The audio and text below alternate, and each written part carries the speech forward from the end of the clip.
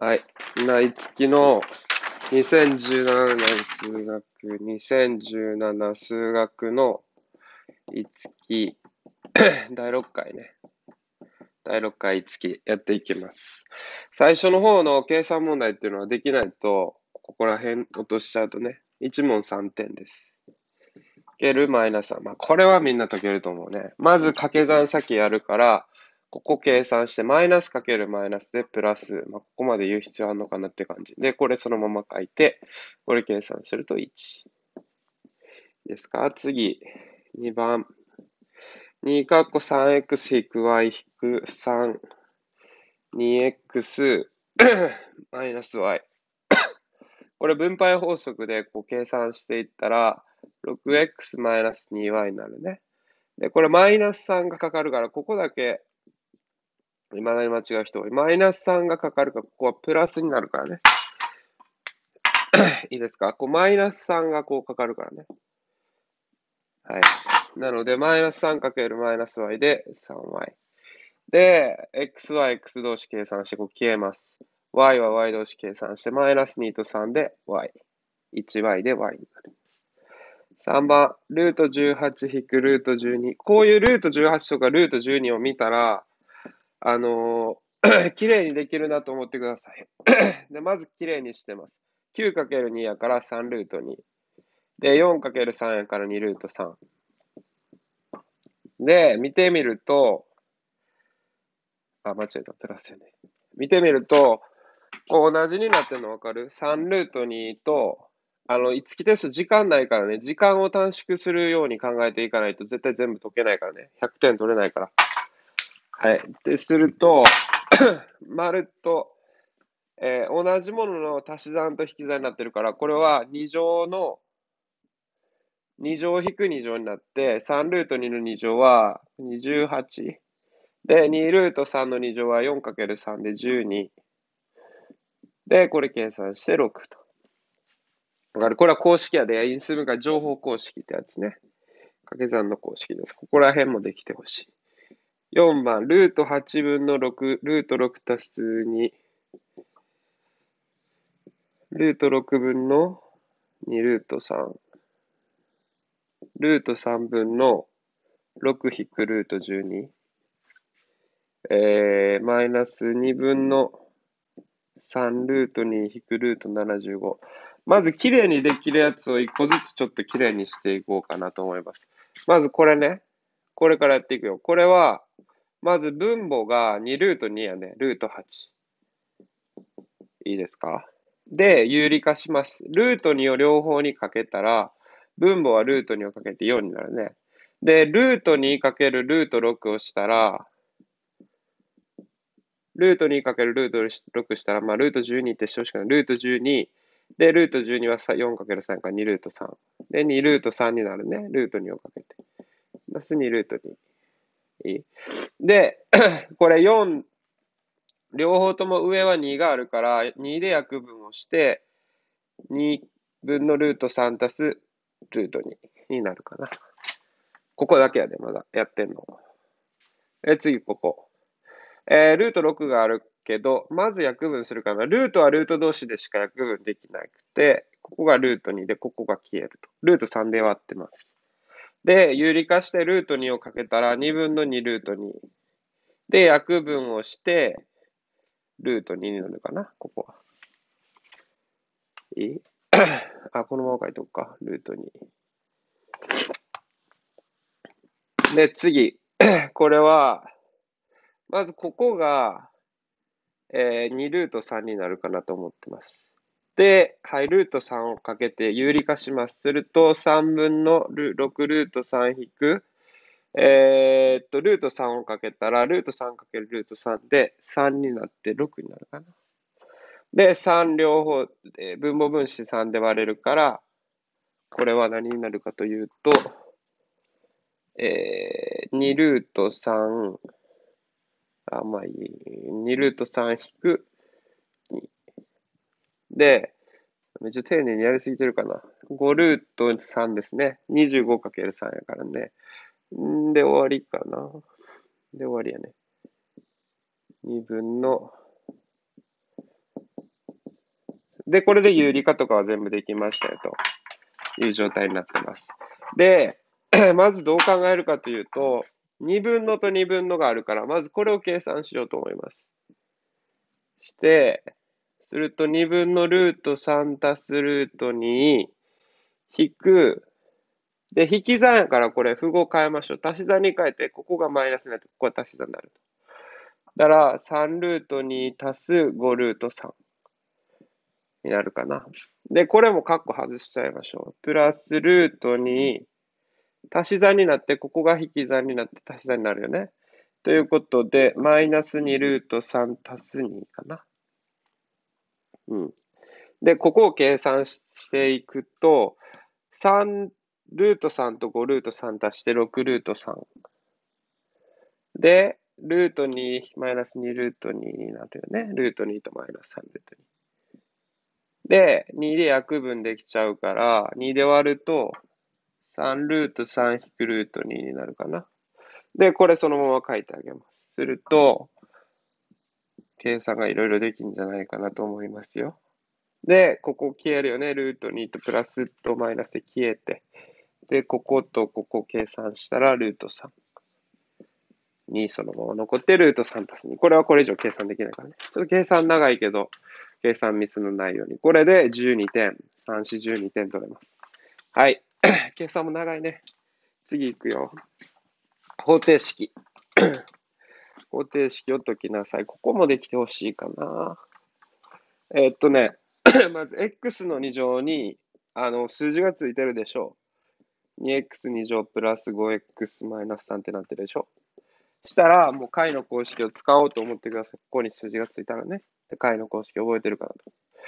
で、2a 分の2人が c マイナス b プラスマイナスルート。ここの中は、ここで計算しましょう。b の2乗、25、マイナス4かける 4ac でしょ。うん。じゃあ、こう計算すると、マイナス6で、マイナス6かけるマイナス4で6、24。で、49になるかな。で、ここが7になると。7。ということは、マイナス5足す7で4分の2と、マイナス5マイナス7で、マイナス12。わかる？プラスマイナスの意味がわかる？マイナス5、マイナス5プラス7と、マイナス5マイナス7ってことだから、それを別々に計算します。で、これ約分して終わり。約分すると、こっちは2分の1。こっちは4で割れるから、マイナス3。この2つ。はい。次、カッコ2番。大小サイコロのを投げますと。で、2つのサイコロの出た目の積が36の約数。まず36の約数を考えないとダメで、36の約数って何やろって考えたら、約数を考えるときは、まず1では絶対割れるでしょう。だから1書いて、1で割ったら36。で、次2で割れるかなって考えていきます。2で割れるから2で割ったら18。で、割った数をここに書く。小かな。答えを書く。で、3で割れるかなって言ったら3で割れるか12。これ約数の求め方ね。これはもう知ってた、知ってたらできるはずだから。覚えといてください。覚えてるか覚えてないか。4で割ったら祝36。で、5では割れないから5は違うなと。で、次6。6でいったら6で割れると。ああ、わかった。じゃあ、これで約数っていうのが全部求まった。ここで同じになるか、もうそれ以上ないってなったら、これで約数が全部求めること。約数っていうのは割り切れる数字だからね。で、6と6したから6。だからこの数字になるようなものがありますかと聞かれてます。じゃあこれ全部考えていくだけです。まず 1×1 で1になってあるよね。ここの中に数字になったらいいから。積が、積っていうのは、えー、っと、掛け算の答えでしょ？積が36の約数、つまりこれになるものはどれかっていうのを選んでいくだけ。もうずっとやっていきます。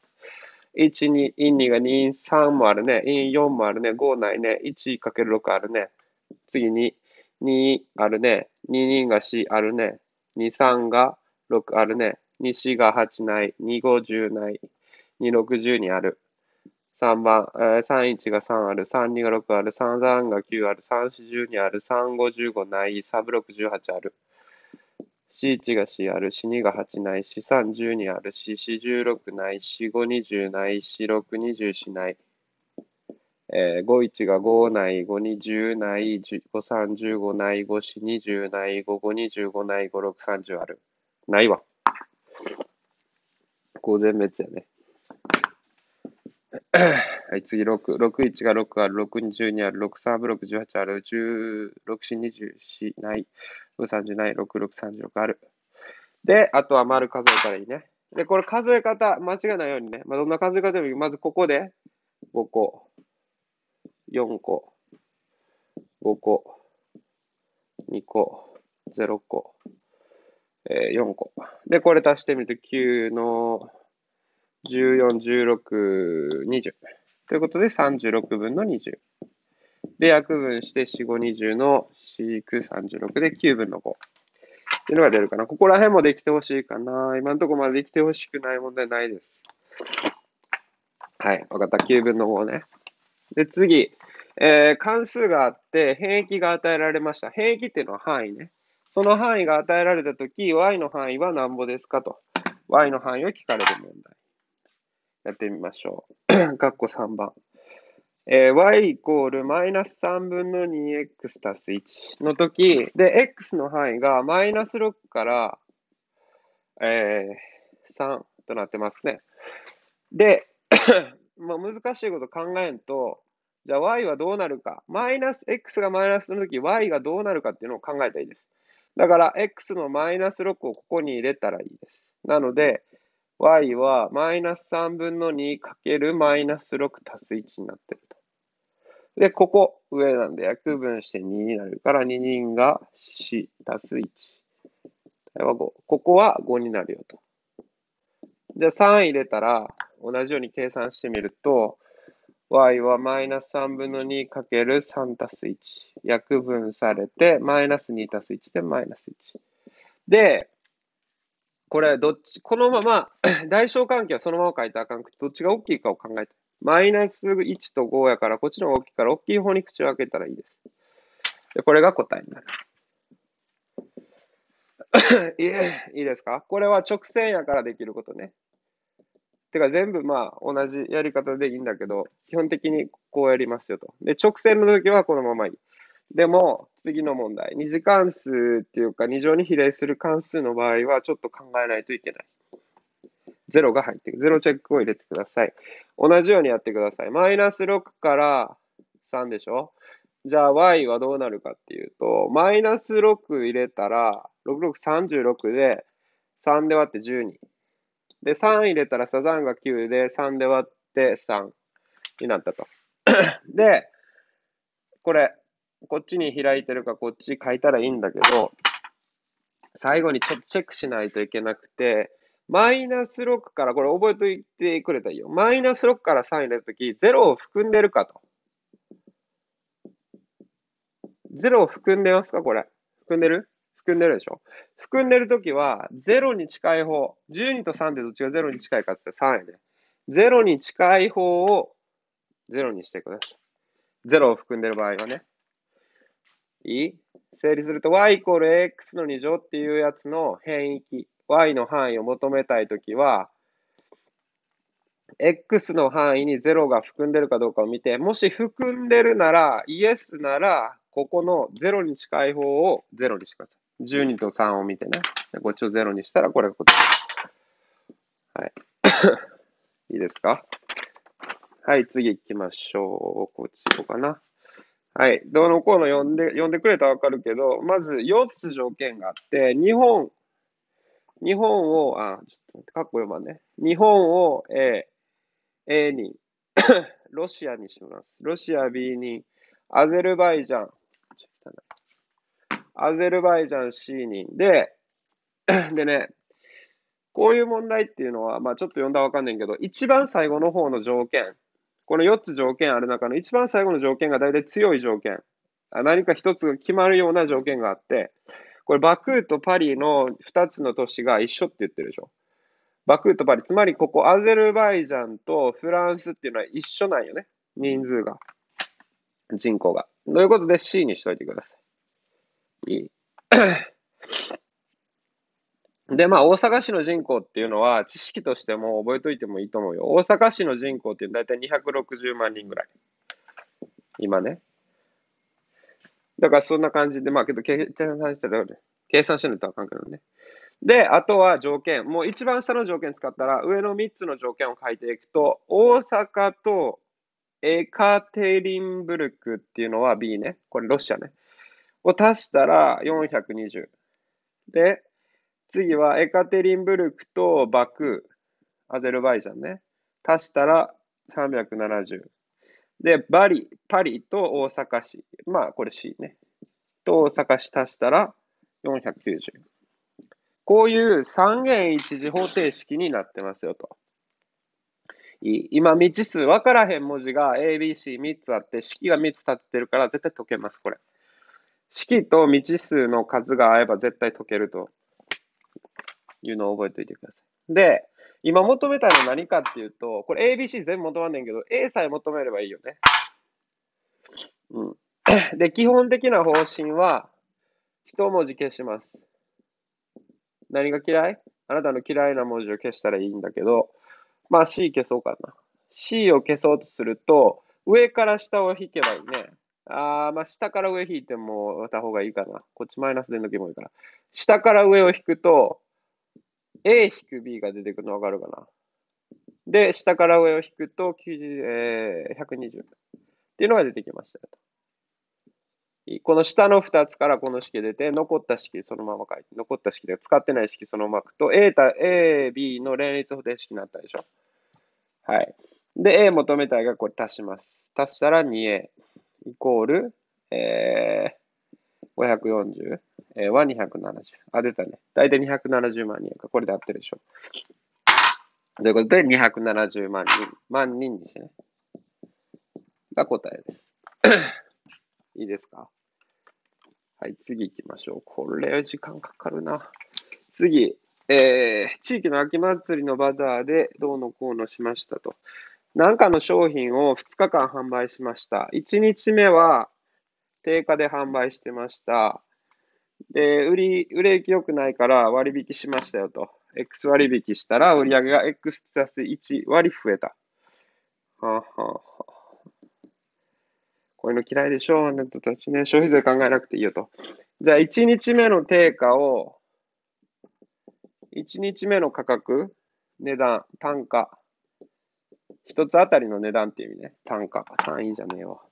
単価。1日目は何ぼで売ったかっていうと、Y 円で売りましたよと。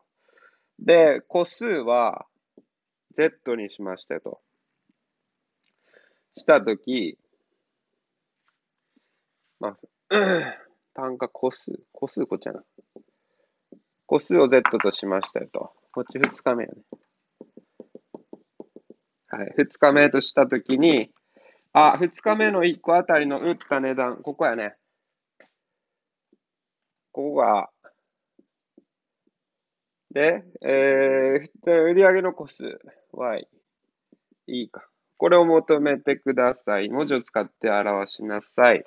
で、すると、単価はどうなってたか、問題をよく読むと、えー、X 割引で売ってると。で、個数は X たす1割増し。この割増しと割引の計算をしっかりできるようにしといてほしいかな。うん。これ覚えることやから覚えといてほしいんやけど、X 割引って言われたら、なんせ割合っていうのは掛け算なのよね。で、y かける、あの計算ね。あっていうのは、もともとある y に引くときは、割引割りましてね、1足すとか1引く。1っていうのはもともとのやつから足したり引いたりします。引く。割引やから引く。で、x 割っていうのは10分の x だから1引く10分の x。で、あができます。これで終わりやで。これ書けるようにしてほしいな。同様の式やったらこれ全部丸になるから、ちょっと聞いてみてくださいね。先生に。で、次、これ。z がどうなるかというと、x 足す1割増しやねんて。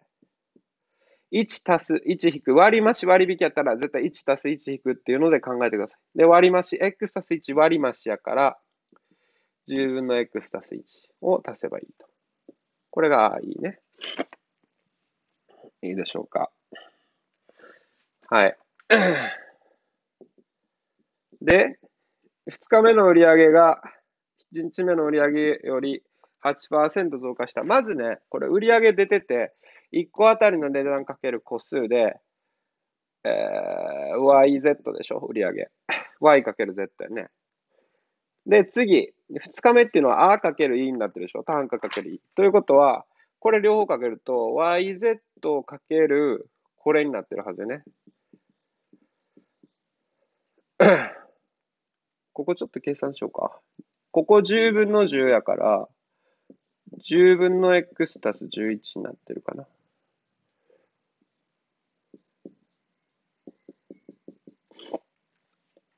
これも計算、こうした方がいいか。はいはい。んで、えー、売上を出していきたいのよね。で、売上、まあ、ここ言った通り、10分の10引く x やから、ここを10分の10引く x にしましょうと。で、今何が言われてるかっていうと、丸2番ね。売上が、0.8%増っていうことはどうなるの？どうなるかっていうと、yz、まあ、なんでかかればいいやろう yz かける、えー、っとね、8%増っていうことは、1たす100分の8やね。これはいいですか ?1 たす 100, 100分の8になりますよ。それをかけたら、この売り上げになるのよね。かければ、それが売り上げになります。なので、ここと一緒になって、わかるかな ?YZ の100分の、えー、じゃごめん。8%増イコール、ここの2日目の売り上げなのよね。いいですか？で、これを計算していきます。まず YZ 消えますよと。うん。いいね。ほんで、この分数っていうのは鬱陶しいから基本的にかけたりして消していくでしょ？で、ここの100が鬱陶しいから100倍しましょうと。で、100倍、両辺ね。両辺100倍します。いいですか？すると、どうするかっていうと、これ10分の10分ので、こっちを10倍、こっちを10倍に分けます。100倍っていうのは 10×10 と一緒ですね。今、ちょっと簡略化すると、10分の a かける10分の b かける100をかけたいと。ほんじゃ、こいつに10かけて、こいつに10かけよう。そういった発想でここの分数を消します。いいですか？掛け算っていうのは、あの、順番入れるからね。わかるかな？ここら辺が。ということで、ここ100倍すると100たす8イコール、これ10倍すると 10-x。で、これ10倍すると x たす11。いいね。で、これ108。はい、これ展開していくだけね。あ、もうこのままこういくよ。110マイナス x2 乗マイナス 11x。で、これ全部落ちていって、x2 乗、x ついてんのが、ここと、ここで、計算するとマイナス x。これをこっちに持っていって、プラス x。で、110をこっちに持っていって、マイナス100に10になって、マイナス2。じゃあ、x は？えー、こうなるかな。はい。x は1とマイナス2。で、あ、ごめん。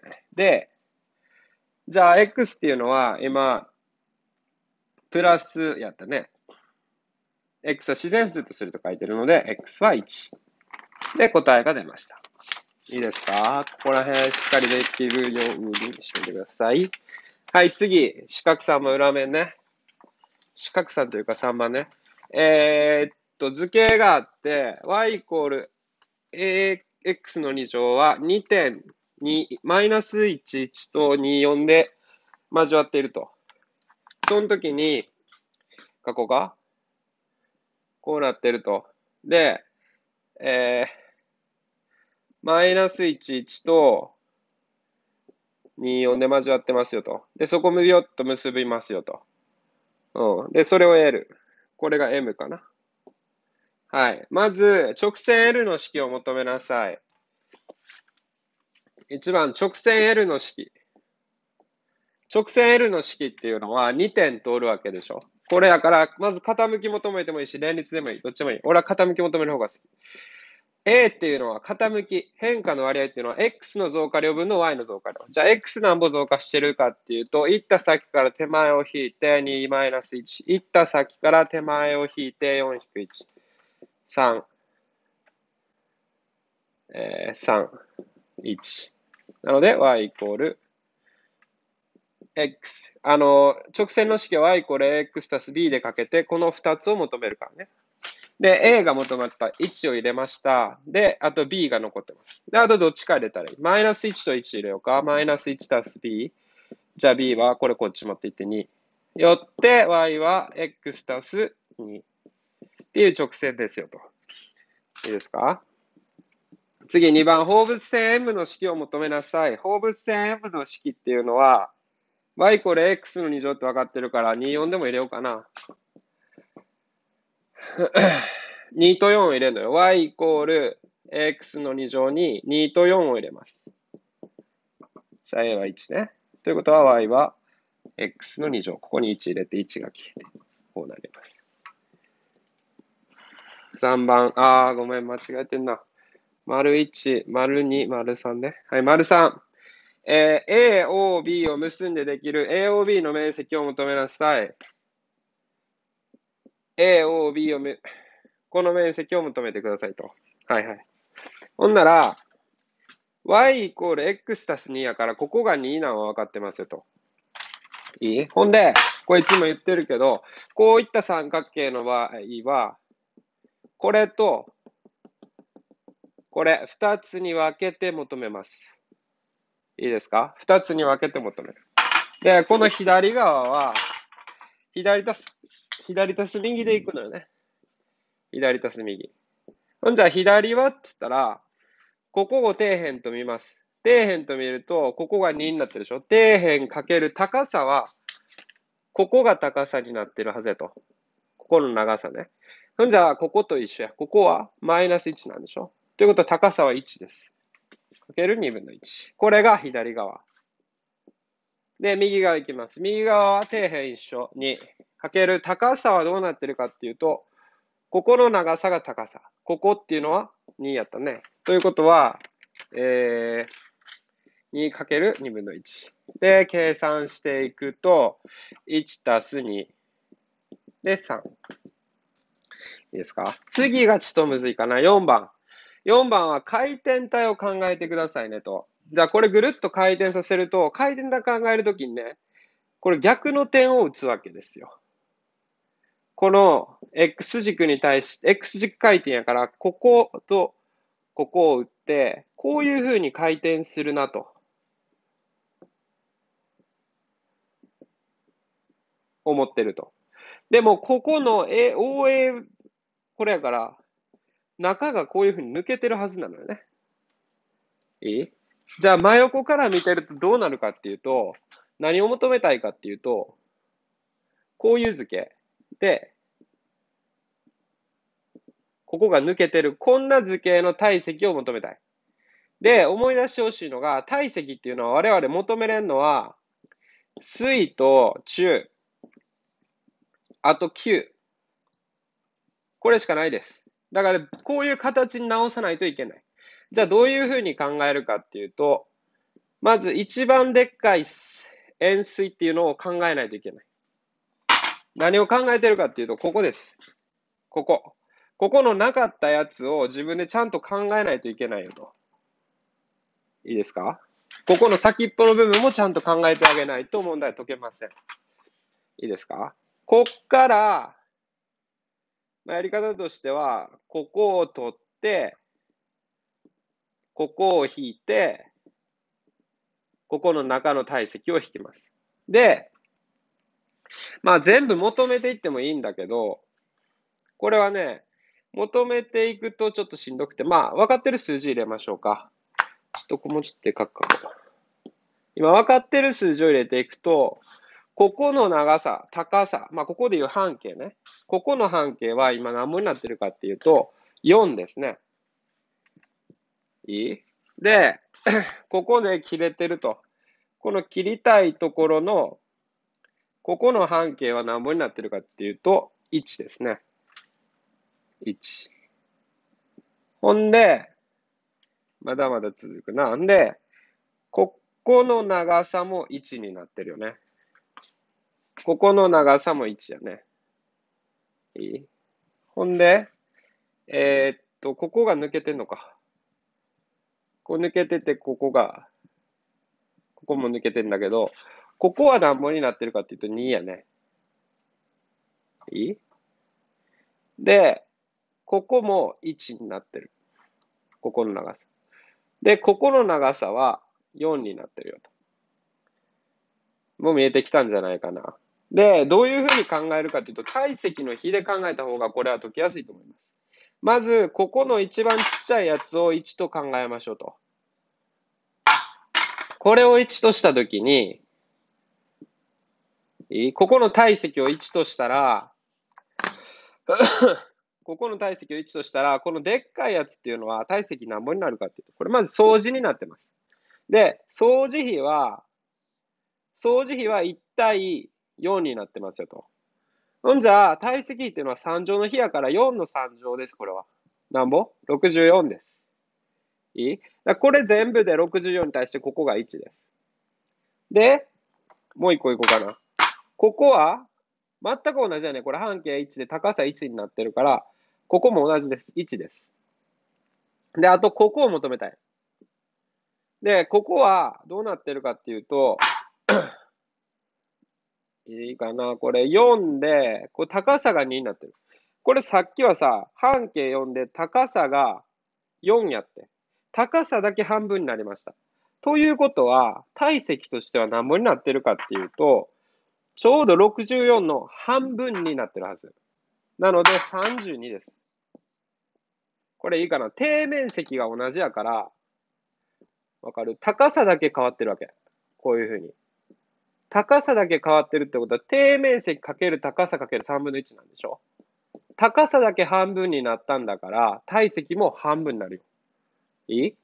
なので、この体積も半分。うんじゃ分かったね。ちょっと書き直してみると、全部で64です。じゃあ64からこれを引きましょう。で、これも引きましょう。64からまず1個目これ引いて、次ここ引いて、あとこれ引いたり、これ何本かで32。はい、じゃあこれ計算すると30です。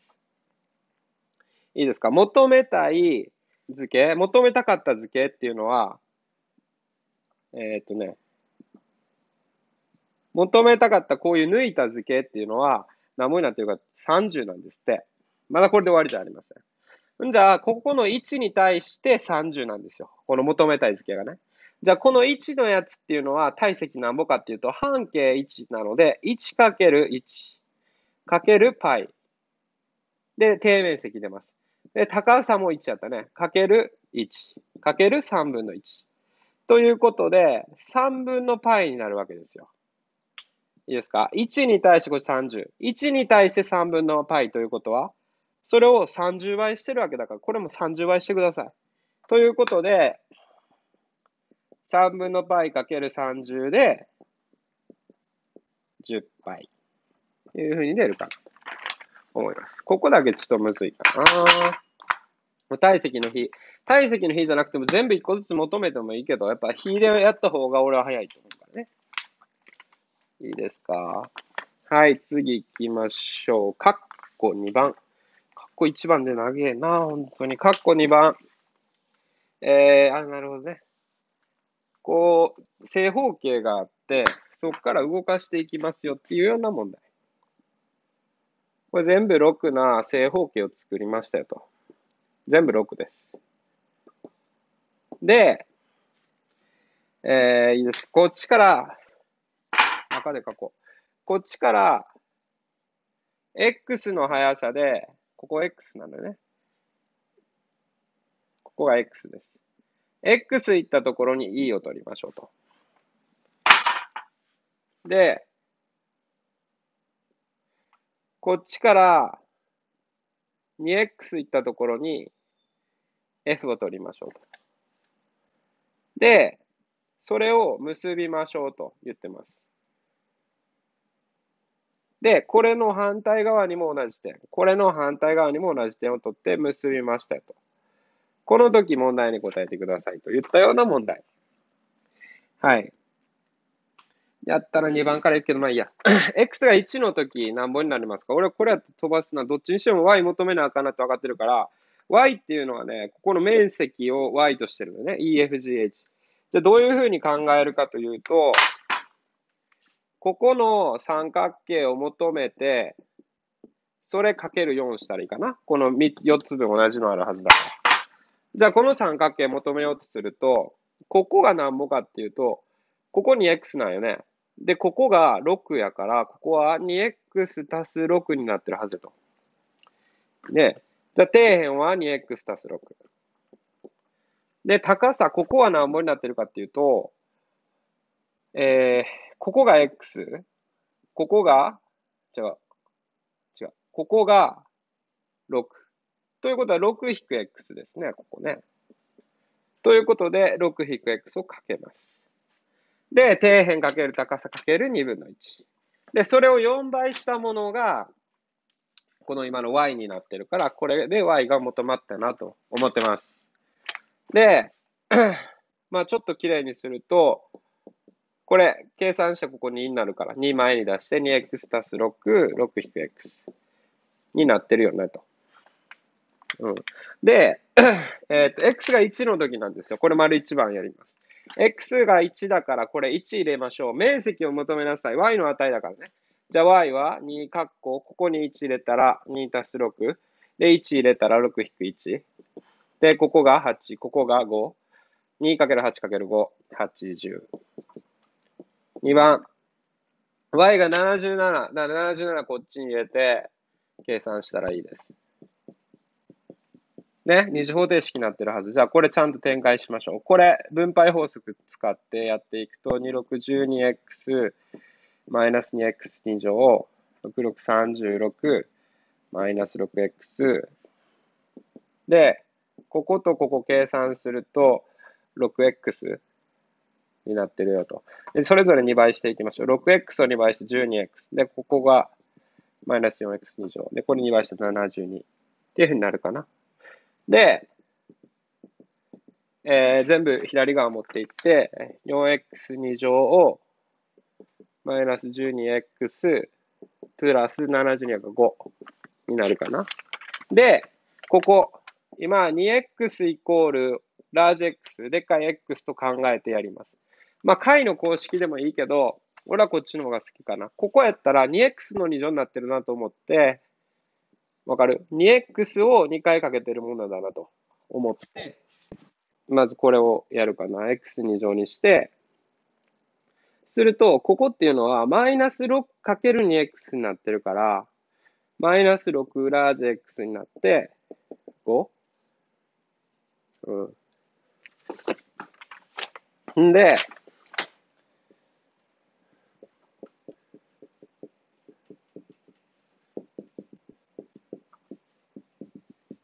はい。ものもサクサクっとできるね。終わり。いいですか？はい。つったら、あとは何？あ、次は結構比較的簡単かな。問題として、さっきはね、E っていうのは、こっから動き始めて、こういうふうに動いて、F っていうのは、こっからこう上に動いた。逆に動いたらどうなるか。いい。まず正方形ありましたよと。で、最初、こっちこう動いたけど、逆にこう動こうと。x。で、逆にこっちに 2x 行こうと。今の段階では、まだこういう図形になるよね。へんてこな。こんな図形になっちゃうと。うん。でももうちょっと行ったらどうなるかというと、ここを超えるわけよね、f が。ここからこう行くんやけど、2x こっちへ越えて、もっと行って、ここら辺になると。から 2x こんだけ行ったと。で、x がこんだけ行ったと。したら正方形になるときはいずれ来るでしょ。ね。はい。じゃあ、何を求めたいかっていうか、正方形になるっていうのはどういうことかというと、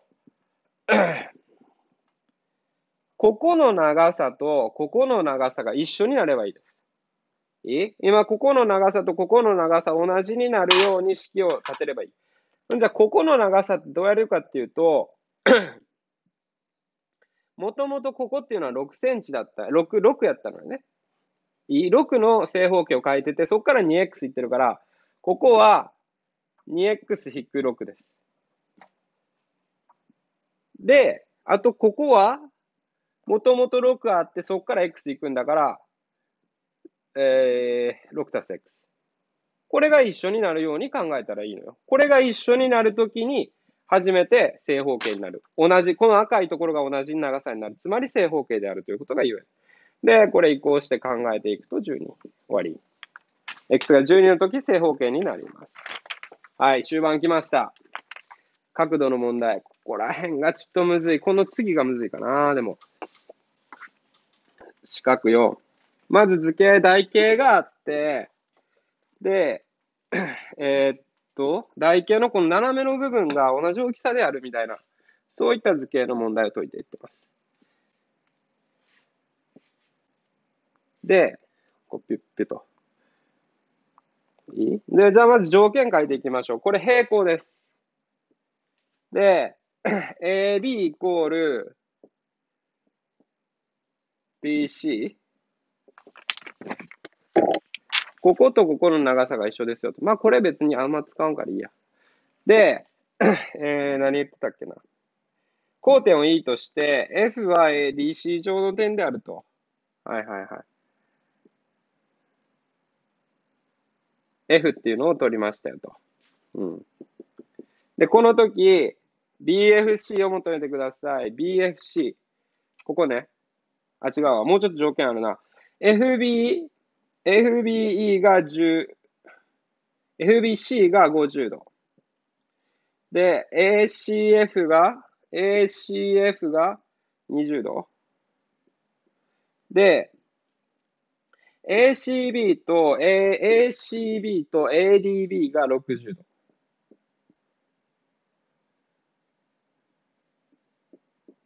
はい。いいですか？するとね、これまず何がわかるかっていうと、ここが60度やから、ごめん。ここが、ここ求めたいとこね、X にします。ここが平行だから、ここも60度ってわかるでしょ？ね。そしたら60、60やから、ここも60になって、これは正三角形になってます。いいですか？まずこれ一つ目気づくこと。まだ問題解けるかどうかわからんけどね。で、ここも60度になるでしょ？ね、で、60度、ここも60度やから、どうしようかな。ここと、えー、てか、この三角形っていうのは、正三角形になってると。60、60やから残り60で、だからここは10度になってるというのが分かってるのよね。で、ここも正三角形になってるなと思います。でよ。ほんで、まあ、次がポイントなのかなと思うんやけど、えー、っとね、どこやったっけな。あ、違う、ごめん。何、どこ求めるか ?BFC。あ、ごめん。ここはすぐ求めれるな。X、カッコ、丸1、カッコ1の丸1が X ね。X は、ここの三角形を見ると、80、50やから、ここを求めると、80、50やから50度になります。ここは50とすぐわかるね。ここの三角形を見たらね。50、60、20を足して、えー、130になるから、150から引いて50度。これはわかります。これ一番簡単。2番。一番サービス問題。2番からいきなりむずい。EF を結びますと。なら CEF。CF を求めてくださいと。ここね。ここ、じゃあ Y にしようか。はい。CF を求めてください。するとね、ここでわかるとこがあって、ここ気づかへんかったら多分絶対できん。ここの50度と、ここ50度あるから、ここと、ここは二等辺三角形になってるなと。つまりこの赤く塗ったところっていうのは全部長さが同じなんですよ。ということは、こことここの二等辺三角形なんだから、今ちょっとこれだけ書き抜くと、ここ二等辺になってるんよ。で、ここが20って分かってんのよ。ほんなら、ここが y よ。求めたいとこ。これやったらできるでしょ。まず180から20引いて160。それを半分こするはずだよね。ということで、y は80度になります。うん。ここは80度って分かりました。はい。次行きましょう。えー、EAF。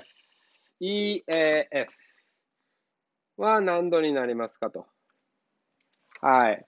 するとね、これも、やっちゃったできんだけど、ここを見るます、次。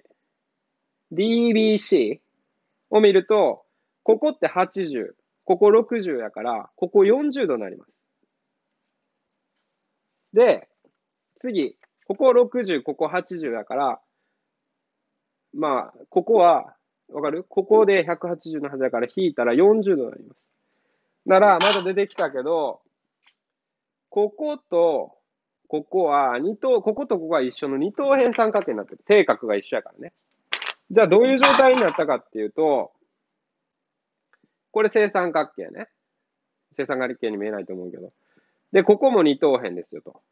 もちろんここも長さ一緒。という時に、こことここを結んだら、ここって垂直二等分線になるはずなのよね。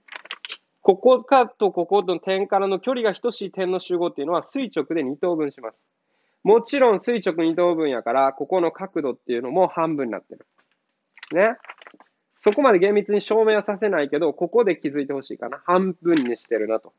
いうことで、ここの、えー、EAF か、EAF、ここね。ここの Z っていうのは30度になると。ここ60度やから、一つは30度ですよと。た問題です。いいですか？はい。これで括弧1番終わり。で、括弧2番は、投資問題です。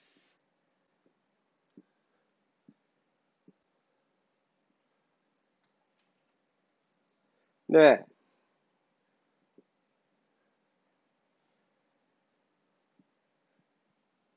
こんな感じになって、ここの面積を S として、ここを A、ここを C、ここを B としますと。いいかな。で、ABC か。まあこれどういう図形かっていうと、底辺が、底面があって、そこから C の点からは C 上に上がったところ、垂直にね。これが平行だから。垂直に上に C 上がった、上に A 上がった、上に B っていう値が上がったところ、そこを結んだような図形になってます。うん。で、これが平行っていうのが非常に大事で、えっとね、底面があって、で、上にでかい平面があると。で、これが平行なとき。例えば、ここの点を取って、こうやって三角、三角錐か。三角錐を作っても、ここに点を取って、こうやって三角錐を作っても、全部平行やから、どこの点で、平行な点、どこの点を取っても、この体積っていうのは変わらないのよ。なんでかっていうと、体積っていうのは底面積かける高さかける3分の1水やったらね、になってて、で、今底面積ずっと一緒なのよね。で、何で変わるか高さだけなのよ。でも高さもさ、これずっと平行やったらどこの点取っても一緒やから、高さも同じなのよ。ということはこれ、どこの点を取っても絶対同じ体積になるわけ。ね。っていうことを頭に入れながら問題見てみましょう。えっと、PBC、PBC で、ここ P ね。QR。PBC で切ったときどうなるか。じゃあ PBC で切りましょう。こうなります。こういきます。はい、じゃあ切りました。ちょっとね、切ったからこれ消してみましょうか。よっと。こんな図形になってますよと。うん。で、えー、この図形の体積を文字使って表しなさい。もちろんここ垂直だから、底面積かける高さかける3分の1。底面積かける高さかける3分の1。で、3分の S。まあこれ順番とかは別にどうでもいいです。こういう同じ意味の式をかけたらいいです。いいですか？はい。これが1番。で、次。えー、っと、この体積を文字を使った式で表しなさい。今言ったのやつが、ここが聞いてくんねんけど、B のとこは B 上がったところ、C のとこは C 上がったところ、そういった図形やというふうに先言いましたね。こういうふうな図形でしたよと。ほんじゃ、今ここで切ったから、次は、どう切ろうかな。四角錐になってるから、ここで切ろうかな。ピュッと。すると、今、ここの奥を底面として、奥を底面としてる三角錐になってる。ここを底面としてね。ほんで、こっから大事なんだけど、ここの面に対してこれ水平行やから、ここを P をこっちの A まで動かすと、こういう立体になるはずなのでね。いいかな。ほんだら、ほんだらよ。今、ここの面は S なんでしょ底面が。今、底面奥で考えてずらしても体積が同じ。で、この同じ体積のやつの体積を求めようとすると、ここが S やから、底面積かける高さ。かける3分の1。して、3分の BS。これが V2 になるのかな ?V2 になるとかじゃないわ、ごめん。これが2つ目。で、残ったところはどこかっていうと、ここを底面として、ここにあるのかな？頂点が。で、また同じようにこっちにビョンと下ろしますと。すると、こういう、えー、と、立体になって、それは体積が同じ。で、またこれをここまで下ろして、こういう図形になります。すると、底面積 S で高さ S の図形が出てくると。これ難しい。わかるかな？こう頭の中でできてんだけど、私は。こう P で今日ギュッと下ろすと。すると S かける C かける。これは難しいんかな？説明難しいよね。3分の CS。で、これ3つ足したら全部の体積になってると。今全部の体積になってるから、これで答えです。うん。いいかな難しいかなまあいいや。はい、次行きましょう。次、カッコ3番。あ、これ楽や。思われた。よかった。いつきの学校も疲れるわ、マジで。次行くよ。4番、3番。えー、右の図がありますと、正三角形 ABC があって、で、そこから正三角形、一辺を正三角形とするようなものを作りましたよと。いい？一辺をこうするような正三角形を作りましたと。はい。そんな時に、ビョンビョンと、ビョンビョンとやりましたよと。C、F、E、D。で、AD、えー、違う、ごめん。交点を F としまして、次の問いください。BE イコール CD。どこを言いたいかっていうと、BE イコール CD。いここと、ここの長さが一緒であることを言いたいんやって、ほんならこれとこれを含むような2つの三角形の合同を示せばいいです。じゃあ、まあいいや、ADC まで言ってくれてんな。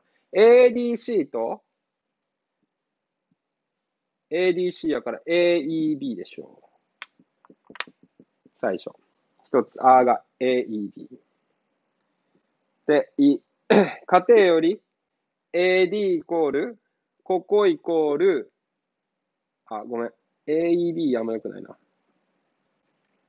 ADC と一緒なのは ABE やね。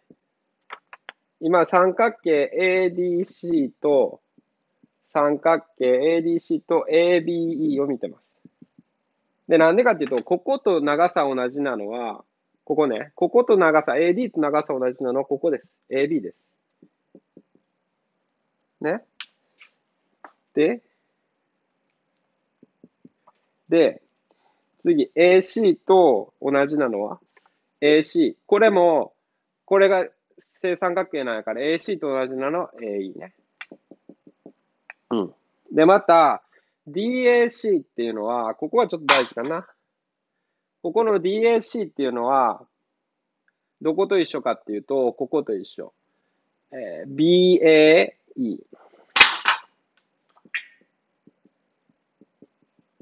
で、なんでかっていうと、これは両方とも、60度足すここになってる。例えば、ここね、DAC の方は、ここね、ここの角度っていうのは、ここって60度なんよ。正三角形やから。で、60度足すここになってる。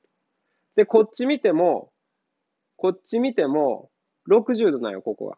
60度足すここになってる。じゃあ、オナにめったね。60度。で、1、2、3より各辺辺やから、2組の辺とその間の角。の角がそれぞれ等しいから、これね、正直完登してください。ここできひんかったら話になりません。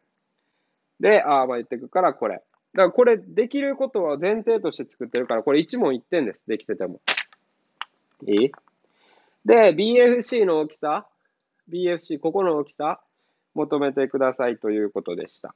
ここの大きさどうやって求めようかなって考えてみると、60、60が分かってて、汚いから分かりにくいけど、もう一回書こうかな。ABC があって、ここで正方形書いて、ここで正方形書きましたと。はい。だから、こことこことここ一緒で、こことこことここ一緒で、これを結びましたよと。だから、ここは何度ですかっていう問題？いやね。で、おそらくやけど、これ合同を使うんかなっていうのを思ってます。で、いいかな。すると、ここの角度、ここの角度っていうのは、ここ足す、ここになってるね。うん。じゃあわ、待って。ちょ、ここで言ったしんどい。ここの角度っていうのは体長角でここと一緒です。じゃあ、ここっていうのは、どこになるかっていうと、ここと、違うな。ちょっと、何これ。そういうことね。あのー、ここ、ここを求めたいと。ここを求めたいです。で、見るべきなのは、あの、1番、丸1番で、こういうのは絶対導入って言って、ここの条件を使うはず。で、合同やから、ここの角度とここの角度は同じですね。いい？こことここの合,、えー、合同証明したから。今、丸つけたところの角度は一緒です。いいですか？そして、ここの角度も一緒やね。対頂角だから。うん。そしたら残りの角度も一緒になるはずやねんけど、今ここっていうのは正三角形なので、60、60、60になってるでしょ？ここ60やから、ここも60です。いいね。ほな出たね。ここは120度。シャー終わった。お疲れさんでした。できたかな？ちょっと立体のやつ難しいけど、頑張ってね。明日。お疲れさん。